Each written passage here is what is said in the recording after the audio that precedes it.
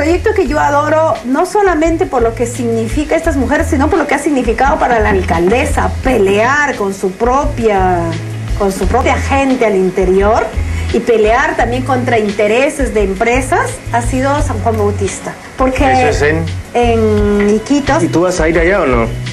voy muchas veces. Ya. Entonces nada, ya no te, deja- ya te dejamos para que puedas trabajar y nos encontramos para ir, pues este, si vas a ir. Claro que sí, nos encontramos en el aeropuerto, ¿verdad María?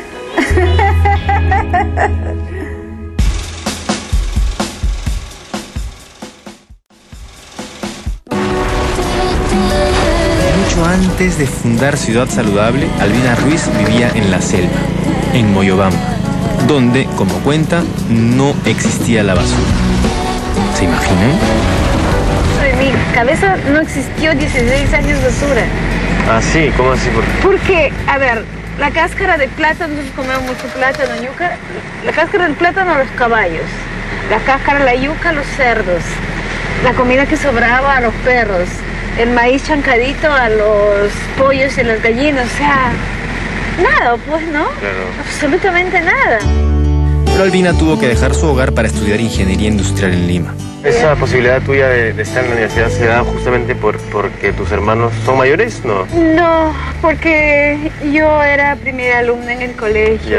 La uni era nacional, o sea, jamás íbamos a poder postular ninguna de nosotros o ninguna privada, claro. Llegar este, a Lima fue un shock tremendo. Yo lloré como un mes. Cerros de basura. Yo empecé a tener olor horrible. Digo, ¿qué ha pasado? ¿Qué es esto? Y me dice la basura, ¿pero de dónde ha salido? Mientras otros compañeros universitarios estudiaban métodos de productividad en bancos y supermercados, Albina decidió hacer su tesis universitaria sobre microempresas. Y desde entonces trabaja en un tema que para muchos apesta. ¿Y ese proyecto qué cosa era básicamente? Era eh, hacer una medición de los camiones para mirar si su ruta era óptima o no. La alternativa era decir, ok, donde hay, mejorar la ruta, había zonas planas donde se podía, donde no, era, Hacer tenemos que hacer otro invento. Y la primera instancia era comunicar a la gente para que saliera y estuviera. ¿no? Entonces, este, presentamos el trabajo, vino la regidora y cuando estuvimos ahí, presentamos todo, nos pusieron una nota muy alta y ella me dijo, oye, tu trabajo está bien interesante. ¿Quisieras venir a la, a la municipalidad y presentar al alcalde de todo el cuerpo de regidores? Ah, dije, claro, bacán. Eh, hice la presentación, todo, todo, y cuando terminé de exponer me dice el alcalde, Albina, te contrato, ¿no? Entonces ya nos contrataron como asesores, empezamos a organizar. Año 86, y ven pues no había ley, no había nada, ¿no? La ley es del año 2000 y se empezó a trabajar en el 98 todavía. Pero ya empezamos a armar campañas de saneamiento ambiental, así le vamos, campañas culturales de saneamiento ambiental. Y es que su trabajo no solo se concentra en la capital ni en la selva. Gracias a la labor de Ciudad Saludable, el país cuenta hoy con una ley de residuos que parecía inalcanzable.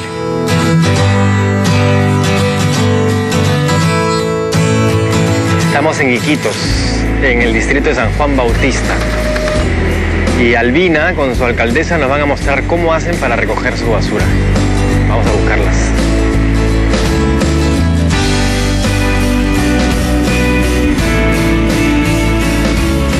Hasta agosto del 2008, la situación de la limpieza pública en las calles del distrito de San Juan Bautista era caótica. Antes de que Ciudad Saludable fuera contactada por la alcaldesa del distrito, tanto el barrido de las calles como el servicio de recolección y transporte de la basura no pasaban de una cobertura del 60%. Hoy, con la ayuda de microempresas, ambos procesos alcanzan a toda su población urbana. Ellas van barriendo y van a ir recogiendo en bolsas como esa. Y ellas además se recursean. Estas bolsas vienen de una fábrica donde hacen la limpieza de Ah, leche y entonces ellas le regalan esas bolsas y ellas van acumulando la basura ahí. Y este es su, carrito que viene recogiéndoles. ¿Y cómo funciona? O sea, de cada, cada cierto número de cuadras hay un, un Hay, equipo. hay una bolsa que van dejando y ellas tienen su ruta. Ustedes barren cuánto más o menos. Cinco cuadras. Cinco cuadras. Eh, que hacen una y de los Sí, bordes, sí, ¿no? sí. Que son como dos kilómetros y medio. Y, ahí, ¿Y son cuántas? ¿Dos personas para eso? No, una sola. Acá una hace cinco cuadras. Ah, ya, ya, ya. Tienes los plásticos, por otro lado tienes las- los, los- los cartones, por otro lado los orgánicos. ¿Cómo haces? ¿Cómo separas? Aquí en el barrido no, porque lo que van a recoger es mayormente lo que no sirve. Lo que ya sirve, la propia barredora ya lo va separando. Para que ella no venga acá, porque lo que viene acá ya va a ir directo al centro de acopio y luego va a venir un camión que se lo lleva a disposición final. ¿Cómo es esto de las microempresitas? Son, son asociaciones de... Son asociaciones de mujeres. Ah, cuando se hizo la convocatoria, mayormente eran mujeres solas, jefas de hogar en primer lugar. La primera convocatoria siempre los 58 porque ya habíamos hecho el plan de manejo de residuos acá y llegaron 700. Fue terrible. Hicimos todo un proceso de capacitación, de selección, luego ya constituirlas legalmente porque ellas no ni pensaban ser microempresarias.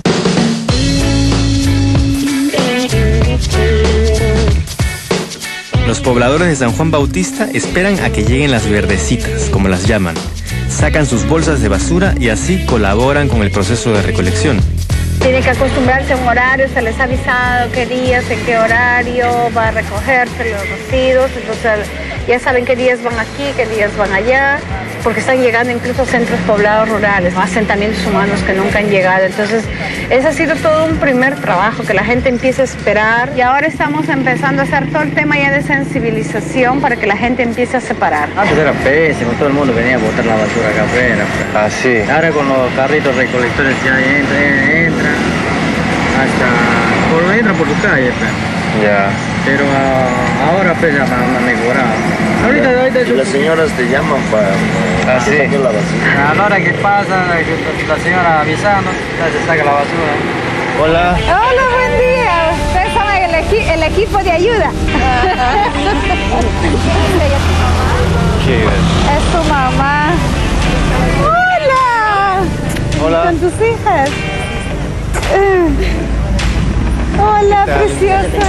¿Cómo, ¿Cómo estás? estás? Ayudando acompañada mami. de la familia. Son sus ¿Y de quién están ustedes acá? Dos. Sí, por eso les ha dado la lluvia, mira, están mojadas el pelo. Tenemos 3.500 mujeres que tienen eh, la posibilidad de entrar a un, pro- a un proceso de fortalecimiento eh, de su autoconcepto. Y el cambio es impresionante. Me acuerdo de los primeros talleres, alcaldesa, cuando ellas venían, venían. No, no sirvo, no puedo mantener mis hijos, tengo que ser empleada doméstica, otra yo soy prostituta, qué sé yo. Ahora el último taller, ¿cómo te ves? La misma pregunta. Linda, fuerte, empresaria, ¿no? ¡Wow! Exitosa. Pero así, ¿no? Albina realiza talleres con las 57 señoras de las microempresas para trabajar temas de confraternización, colaboración y unión entre ellas.